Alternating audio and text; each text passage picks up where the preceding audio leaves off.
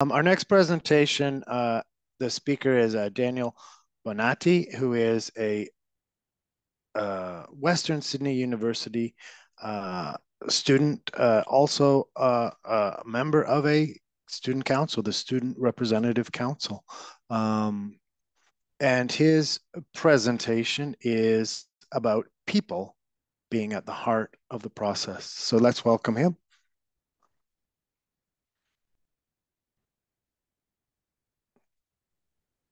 Hello. So I'll just share my screen.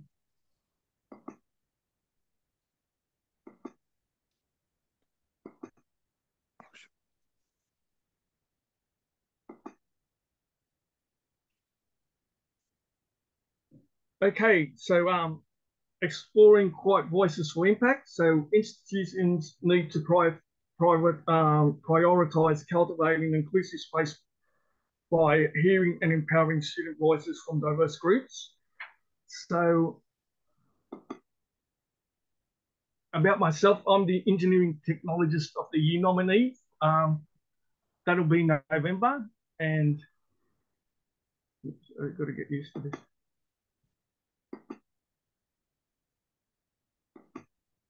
Yep. Oops. I've gone back. I'm not very good at pressing these buttons. So um, my, my background is I'm the uh, current president of the Student Representative Council at Western Sydney University. I've gone to um, four different universities, uh, Sydney University, Deakin University, Torrens University, and now I'm at Western Sydney University. I, I recently graduated with Bachelor of Construction Management Honours and got the university medal, and I um, have completed my Masters. So I'll do a quick acknowledgement of country. So we acknowledge First Peoples Nations as the traditional custodians of the country we are meeting on today. We recognise their continuing connection to sky, land and waters and thank them for uh, protecting this coastline and its ecosystem since time immemorial.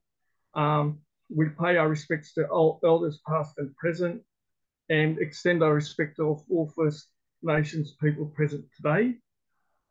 Uh, so, um,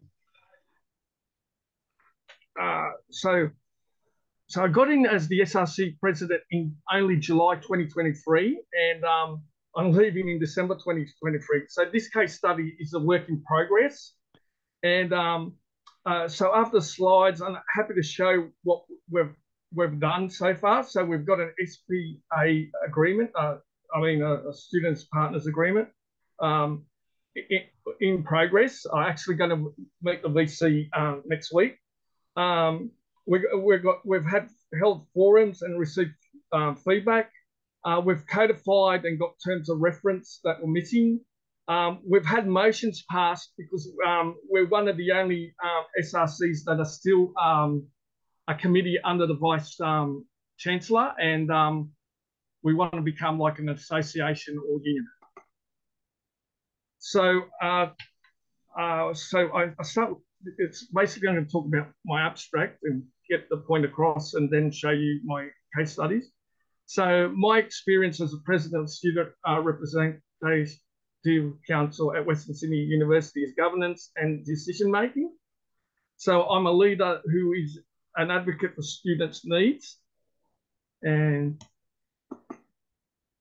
so um, students come first and students need to be heard and freedom of speech and freedom of debate is essential to the idea of a university. And these freedoms should be strengthened. A model framework uh, to have uh, is students as partners and, and students at the table with academia and staff needs uh, steps to develop. And um, so collaboration in governance is enhanced with level playing field of stakeholder decision making um, thought and critical thinking needs to be uh, captured during any think tank. Uh, this feedback uh, evaluated and improved decision making with, within governance and the outcome, uh, the betterment of quality and learning and teaching. So um, my experience uh, at all university levels of governance uh, formed this case study. So this included, I've been on the Academic Senate, the Senate Education Committee, the Academic STEM Cluster Board, um, the academic committees such as the Academic Planning and Course Approvals Committee, uh, the multidisciplinary teaching and learning, uh, and the um, STEM, that STEM, and the school academic committee. And um, I have liaised with multiple disciplinary academic and high level staff advocating for students with Student Representative Council, a voice of students. And so the approach uh, we're trying to use is uh, human-centered design. So uh, a method that gets stakeholders' view is um, human-centered design. And this is an approach to make people the heart of the process. Uh, so human-centered design process is cyclic and starts at the left with discover um, and, and continues to uh, with emphasis, uh, emphasis, um, emphasize, screen, prototype, communicate, and it is reiterated after feedback from stakeholders. Uh, so, so, so uh, to have people heard from feedback via inquiry, open theme forums, written feedback, surveys, interviews, and ongoing improvement uh, in, in guides and procedures, and people needs and desires are captured and, and leads to better aligned services. The goal of employing human-centered design is to develop solutions that meet the needs of Western Sydney University and uh, students as partners need to prioritise cultivating inclusive space by hearing and empowering student voices from diverse groups. Empowerment starts with recognition and inclusion within any guides or procedures. And um, stu um, student uh, representative council Western Sydney make an impact and strives in this direction via motions and actions. So uh, I'll just stop sharing. Um,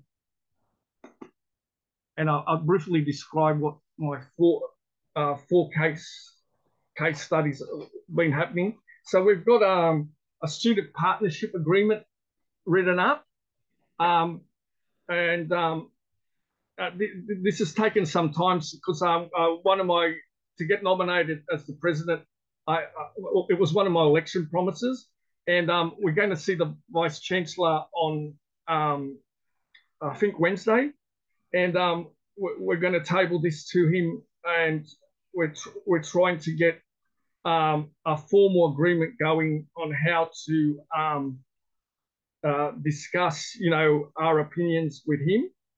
And the other, the other one I was talking about, um, as a president of the SRC, I, I hold uh, presidents forums, and during presidents forums, I, I collect um, uh, various feedback from um, anyone that comes in. It's basically a drop-in center, and um, I get all sorts of um, you know complaints and feedback and what people would like um, done better.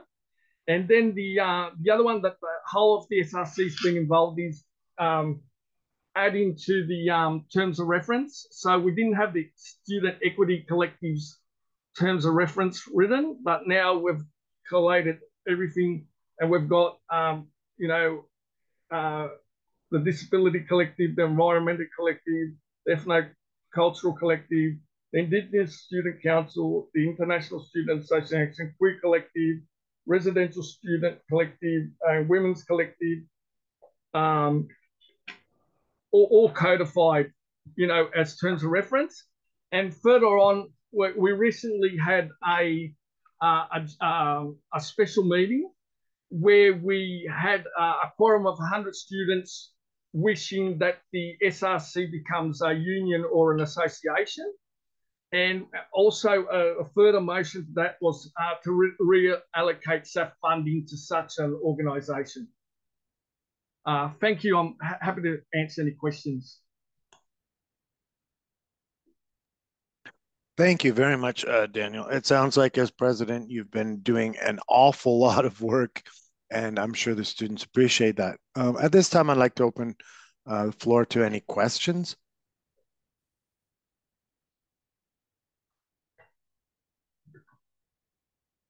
We have one in the room.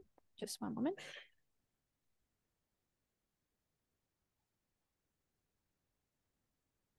Hello. So well done. It's a lot of work you've put in there. It seems like you've put a lot of time in. My quick question would be you've done all this work, right? What support has been offered to you from the university to allow you to, I guess, engage um, and facilitate these initiatives and opportunities for the students? Okay, yeah. So um, uh, so the actual, for example, the forums, the president's forums, um, each SRC student, uh, different role, they they do different forums. So mine was um, to do with services and facilities, while the other students were doing things like education um, uh, and that kind of thing. So um, basically, there uh, uh, we we had to set times up, and um, we we had some support. Like we they'd set up rooms for us. Um, they'd set up um, that help us, you know, uh, buy some food for people that might pop in. Um, so, so there there is that support and the the fact that they do want us to do that kind of thing um, because it's part of our honorariums. And to do with the terms of reference, um, th these um, were a work in progress um, previous to me becoming the, uh, the president. And it was really a shame that they were lacking in uh, participation procedures manual. And um, it's, it's something that, you know, maybe should have happened before, but um, with, with the help of uh, the other SRC members, uh, you know, we, we, we try to add and, you know, adjust any problems. And to do with the motions, um, uh, the, the special meeting, um, there is like um, some hidden, it's, it's not formal support, uh, though as we're only one of two universities in Australia that doesn't have um, a union or an association, we're actually a committee under the uh, Vice Chancellor. Um, uh, you know, there wasn't any one trying to stop us uh, getting these motions done and um, and the SAF reallocation. And um,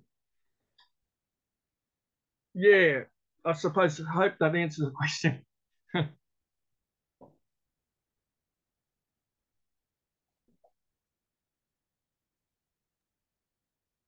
Hi, Daniel. Um, if you don't mind, uh, uh, I'm sure there are some some organizations, whether it be uh, uh, faculties or, or student body uh, groups, or indeed uh, student councils of, of universities themselves, who are looking at um, either upgrading things like their terms of reference or the Constitution, um, or indeed, if they don't have representation, setting up a uh, some form of student advisory council or, or or association. What advice would you have for them as they were starting? Yeah, so um, I, I went to a, a, Student Voice Australia meeting, and uh, there was someone talking to us. Uh, uh, uh Sabrine, uh, Sabrine from UTS. She was ex-president, and a year ago they actually did a student um, a student partnership agreement with UTS and the vice chancellor there, and um, I, found that really intriguing that uh, meeting, and um, uh, uh, I think um, this is a step forward for any um, association or union there is in universities because um, it can add steps that uh, or or you know quality it, it, adds quality assurance adds levels of um, making the unit better.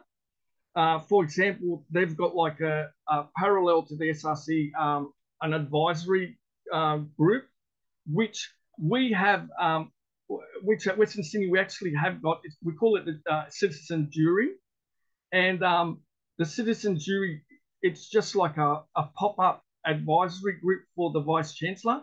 But I think uh, to have more voice, it'd be good if it was um, uh, put in um, place um, for perpetuity. So um, that would have it all the time, parallel with the um, Student Representative Council. So my advice would be, uh, you know, the more voices, the uh, the more student voices, the better. Yeah. Okay, great. Thank you.